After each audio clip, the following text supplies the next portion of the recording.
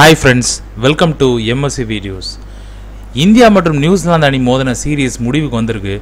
இந்திய அணி பார்த்தீங்கன்னா அஞ்சுக்கு பூஜ்ஜியம் அப்படின்னு இந்த சீரீஸை ஒயிட் வாஷ் பண்ணியிருக்காங்க நியூசிலாந்தை. சொல்லப்போனால் பிளாக் கேப்ஸை வந்து கம்ப்ளீட்டாக ஒயிட் கேப்ஸாக மாற்றிட்டாங்க ஸோ ஃபிஃப்த்து டி டுவெண்ட்டி மேட்சும் இந்தியா அசத்தலாக வின் பண்ணாங்க. ஃபைவ் ஜீரோ அப்படிங்கிறது ஒரு சீரீஸில் சாதாரண விஷயமே கிடையாது. அது இந்தியா பார்த்திங்க அப்படின்னா சூப்பராக பண்ணியிருக்கிறாங்க அதுவும் நியூசிலாந்துலேயே போய் நியூசிலாந்து கிரவுண்டில் நியூசிலாந்து சின்ன சின்ன கிரவுண்ட்லலாம் போய் நியூசிலாந்தே டிஃபெண்ட் பண்ணது வந்து பெரிய விஷயம் தான். அஃப்கோர்ஸ் இதுக்கு பார்த்தீங்கன்னா நியூசிலாந்து தான் நிறைய ஹெல்ப் பண்ணாங்க அப்படின்னே சொல்லலாம். நீங்கள் ஃபிஃப்த் டி டுவெண்ட்டி போட்டியில் என்னெல்லாம் நடந்துச்சு? இந்த சீரீஸில் ஓவராலாக இந்தியன்ஸோட பெர்ஃபார்மன்ஸ் எப்படி இருக்குது டி டுவெண்ட்டி வேர்ல்டு கப்புக்கு இந்தியன்ஸ் யார் யாரெல்லாம் கண்டிப்பாக அணிக்குள்ளே இருப்பாங்க அப்படிங்கிறத நம்ம பார்க்கலாம்.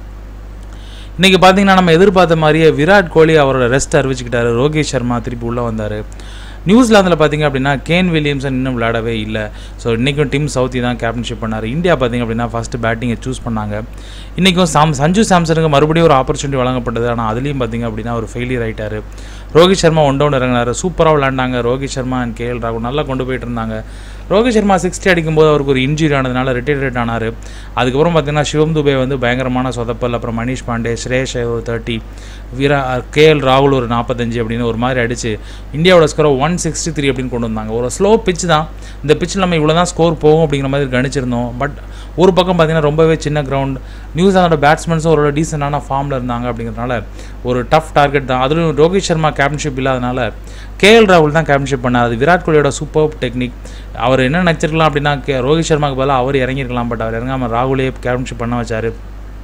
அஃப்கோர்ஸ் ஐபிஎல்லில் அவர் தான் கிங்ஸ் லெவன் பஞ்சாபுக்கு இப்போ கேப்டனாக பண்ண போகிறாரு ஸோ நல்ல ஒரு எக்ஸ்பீரியன்ஸாக இருந்திருக்கும். ஸ்டார்டிங்கே நியூசிலாந்துக்கு ஒரு பெரிய சர்க்கிள் தான். பதினேழு ரெண்டுக்குள்ளேயே மூணு wicket போயிருந்துச்சு. Martin Guptill Colin Munro Bruce எல்லாருமே அவுட் ஆகிட்டாங்க பட் அதுக்கப்புறம் பார்த்தீங்கன்னா சேஃப்ரெட் அண்ட் ராஸ்டர் சூப்பரான ஒரு பார்ட்னர்ஷிப் சுமாராக தான் போய்கிட்டு இருந்தாங்க. பத்து ஓவரில் ஒரு ஒம்பது ஓவரில் அறுபத்தி நாலு ரன் எடுத்தாங்க. அதுக்கப்புறம் தான் சிவம் தூபே ஒரு ஓவர் போட வந்தார். கிட்டத்தட்ட முப்பத்தி நாலு ரன் அடிச்சிட்டாங்க அந்த சிவம் தூபே ஓவரில் ஒரு நாலு சிக்ஸு அதுக்கப்புறம் பார்த்தீங்க அப்படின்னா ஒரு ரெண்டு ஃபோர் அப்படின்னு மொத்தம் தேர்ட்டி ஃபோர் ரன்ஸ் இது பார்த்தீங்கன்னா வேர்ல்டு ரெக்கார்டை கூட ஆயிடுச்சு வேர்ல்ட்லேயே டி டுவெண்ட்டி சி மேட்ச்சில் அதிகமாக கொடுக்கப்பட்ட ரெண்டாவது ஸ்கோர் இது.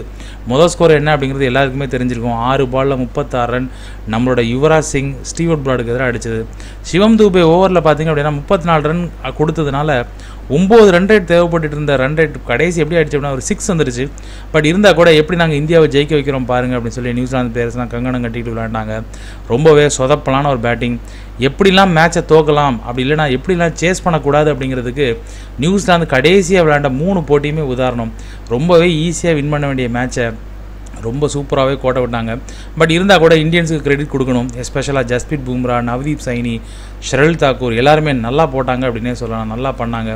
ஸோ கடைசி பார்த்திங்க அப்படின்னா நியூசிலாந்தால் நூற்றி ஐம்பத்தாறு ரன் அடிக்க முடிஞ்சது. ஏழு ரன் வித்தியாசத்தில் இந்தியா வின் பண்ணாங்க. ஸோ அபாரமான ஒரு வின் அஞ்சு ஜீரோ அப்படின்னு எந்த அணியை பீட் பண்ணுறதும் சாதாரண விஷயமே இல்லை.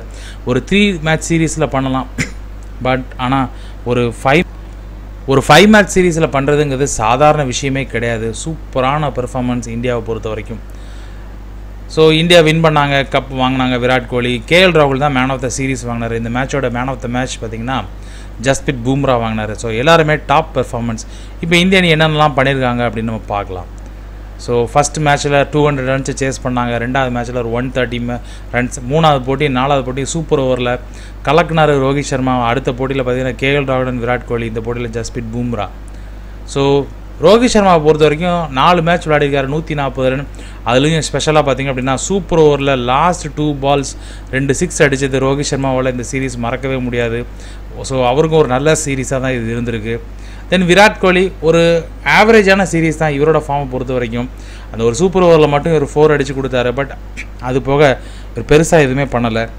பட் விராட் கோலியோட கேப்டன்ஷிப் பார்த்தீங்கன்னா இந்த சீரீஸில் நல்லாவே இம்ப்ரூவ்மெண்ட் ஆயிருக்கு. நல்லா பவுலர்ஸை ரொட்டேட் பண்ணார். நவ்தீப் சைனி அப்படி இன்னொரு மட்டும் இல்லாமல் அப்பார்ட் ஃப்ரம் ரிஷப் பண்ட் மற்ற எல்லாருக்குமே சான்ஸ் கொடுத்தாங்க. யூஸ்வலாக அது இந்தியன் டீமில் நடக்காது. விராட் கோலியோட பேட்டிங் எப்போனாலும் ஃபார்முக்கு வரலாம். பட் இருந்தால் கூட அவரோட கேப்டன்ஷிப் இந்த டைம் நல்லா இருந்தது.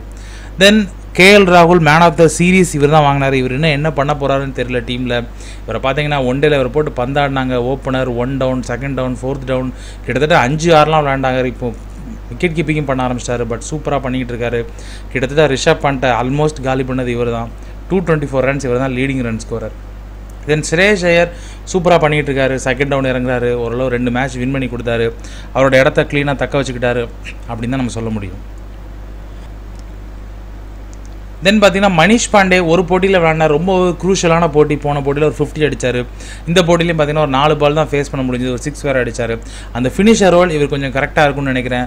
மேபி ஹர்திக் பாண்டியா உள்ளே வந்தால் இவரோட பிளேஸ் வேணால் கொஸ்டின் மார்க் ஆகலாம். பட் இருந்தால் கூட இவர் தான் ஒரு ப்ராப்பரான பேட்ஸ்மேன் ஒரு நல்ல ஃபீல்டர் இவர் கண்டிப்பாக அணிக்குள்ளே இருப்பாருன்னு நினைக்கிறேன். தென் ரவீந்திர ஜடேஜா யுஸ்வேந்திர சகல் ரெண்டு பேருமே பார்த்தீங்கன்னா ரவீந்திர ஜடேஜா மூணு போட்டி தான் விளையாண்டார். நாலு விக்கெட் பிக் பண்ணார். தென் யுஸ்வேந்திர சகல் அஞ்சு போட்டி விளையாடி மூணு விக்கெட் தான். இருந்தால் கூட நியூசிலாந்து கிரவுண்டில் பெரிய லெவலெலாம் ஸ்பின் எடுபடாது. ரொம்பவே சின்ன கிரவுண்ட் ஸோ அதனால் ஸ்பின்னர்ஸால் பெரிய லெவல் டாமினேட் பண்ண முடியல. ஃபாஸ்ட் பவுலர்ஸை பொறுத்த வரைக்கும் பார்த்தீங்கன்னா ஷரல் தாக்கூரோட முக்கியத்துவம் ரொம்பவே அதிகப்படுத்தியிருக்கு. அவர் தான் பார்த்தீங்கன்னா ஹையஸ்ட் விக்கெட் டேக்கர் அஞ்சு போட்டியில் எட்டு விக்கெட் எடுத்திருக்காரு. தென் கடைசி ரெண்டு போட்டியில் வேண்டாம் நவதீப் சைனி ரெண்டு விக்கெட் அதுவும் இன்றைக்கி சூப்பராக போட்டார் ஃபிஃப்த் டூ டி டுவெண்ட்டியில் முகமது ஷமி நல்லா பண்ணிட்டு இருக்காரு தென் அகைன் கம்பேக் பண்ண ஜஸ்பிரித் பூம்ரா மூணாவது மற்றும் நாலாவது போட்டியில் சூப்பர் ஓவரில் அதிகமாக ரன் கொடுத்தாரு. ஒருவேளை இன்ஜுரிக்கு அப்புறமா அவரால் திருப்பி பழையபடி வர முடியாதுன்னு நினச்சாங்க. பட் இருந்தால் கூட இன்னைக்கு போட்டியில் சூப்பராக பெர்ஃபார்ம் பண்ணார். மேன் ஆஃப் த மேட்ச் அவர் வாங்கினார். ஸோ இந்தியன் பவுலர்ஸ் இவங்கெல்லாம் கண்டிப்பாக டி டுவெண்ட்டி வேர்ல்டு கப்லையும் இருப்பாங்க தென் ரொம்பவே எதிர்பார்க்கப்பட்டு சொதப்பி வாய்ப்பு வழங்கப்பட்டும் பெர்ஃபார்ம் பண்ணவங்க பார்த்தீங்கன்னா சஞ்சு சாம்சன் ரெண்டு போட்டிகளில் ஓப்பனராக இறங்க சான்ஸ் கிடச்சிது. அட்லீஸ்ட் அவர் தேர்ட்டி ஃபார்ட்டி அடிச்சிருக்கலாம். பட் அவர் அடிக்கலை. அடுத்து எப்போ ஆப்பர்ச்சுனிட்டி தெரியல. அதே மாதிரி வாஷிங்டன் சுந்தரும் பெரிய லெவலில் எதுவுமே பண்ணலை. போன போட்டியில் ரன்ஸ் அதிகமாக கொடுத்தாரு. இந்த போட்டியில் ஒரு விக்கெட் பிக் பண்ணார். கொஞ்சம் ஃபீல்டிங்கும் சுமாராக பண்ணுற மாதிரி தான் இருக்குது கேச்சஸ் மிஸ் பண்ணுறாரு மிஸ் ஃபீல்டிங் பண்ணுறாரு ஸோ அவரும் அவரோட பெர்ஃபார்மன்ஸை இம்ப்ரூவ் பண்ணி ஆகணும். தென் ரொம்பவே எதிர்பார்க்கப்பட்டு கிட்டத்தட்ட ஆல்மோஸ்ட் இவரோட ட்ரீமும் முடிஞ்சதுன்னு நினைக்கிறேன். சிவம் தூபே. வேறு ஆளே இல்லாமல் இவர் ஒரு ஆல்ரவுண்டர் அப்படின்னு டீமுக்குள்ளே கொண்டு வந்தாங்க. இவர் மொத்தமாகவே நாற்பது ரன் அடிச்சிருக்காரு இந்த சீரீஸில் ஆனால் இன்னைக்கு ஒரு ஓவரில் முப்பத்தி நாலு ரன் கொடுத்தாரு. ஸோ இவர் இன்னும் கொஞ்சம் ப்ராக்டிஸ் பண்ணணும். அப்வியஸாக ஹர்திக் பாண்டியா உள்ளே வந்தாருன்னா இவரோட ரோல் உள்ளே கிடையாது. ஸோ இருந்தால் கூட ஒரு ஆப்பர்ச்சுனிட்டியை வேஸ்ட் பண்ணிட்டார் அப்படின்னு தான் சொல்லணும். மேபி விஜய் சங்கருக்கு மறுபடியும் ஒரு வாய்ப்பு கிடைக்கலாம். அடுத்தடுத்த சீரீஸில் எப்படி பண்ணுறாங்கிறத பொறுத்திருந்து பார்த்தா தான் தெரியும். So India versus New Zealand ODI series நாலாம் தேதியிலேருந்து ஆரம்பிக்க போகுது. இதில் பார்த்தீங்க அப்படின்னா ஒரு எக்ஸைட்டிங் பிருத்திவி ஷா உள்ளே வராரு. ஒரு பேனுக்கு அப்புறமா ஸோ மேபி அவருக்கு சான்ஸ் கிடைக்கலாம் ஏன்னா ஷிக்கர் தவன் இன்ஜுரினால அவர் வெளியே போனார். மேபி இன்றைக்கி ரோஹித் சர்மா ஒரு இன்ஜுரி ஆகிருக்கிறாரு ஸோ அவர் விளையாடலைன்னா பிருத்திவி கே கேஎல் ராகுல் உள்ளே வரலாம். இது போக பார்த்தீங்கன்னா கேதார் ஜாதவ் இருக்கார். சிவம் துபே கண்டிப்பாக இதிலே இருக்கிறார் ஆனால் அவருக்கு சான்ஸ் கிடைக்காதுன்னு நினைக்கிறேன். ரோஹித் சர்மா கேஎல் ராகுல் ஒன் டவுன் விராட் கோலி.